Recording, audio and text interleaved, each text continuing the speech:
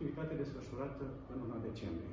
În această lună, la nivelul Inspectoratului Teritorial de Muncă Neamț, au fost realizate un număr de 184 de acțiuni de control, din care 107 în domeniul relațiilor de muncă și 77 în domeniul securității și sănătății în muncă.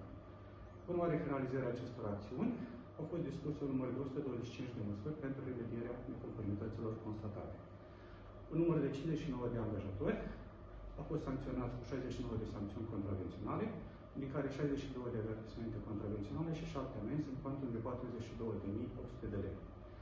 În această lună au fost realizate în domeniul relațiilor de muncă un număr de 77 de acțiuni de control, au fost dispuse 45 de măsuri pentru remedierea neconformităților constatate.